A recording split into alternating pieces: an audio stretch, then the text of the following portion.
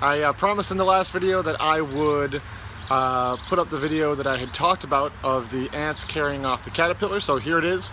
If you watch really carefully, you can see that they are not working together. I mean, they're working together uh, toward a common goal, but there's really no uh, communication about what that goal is.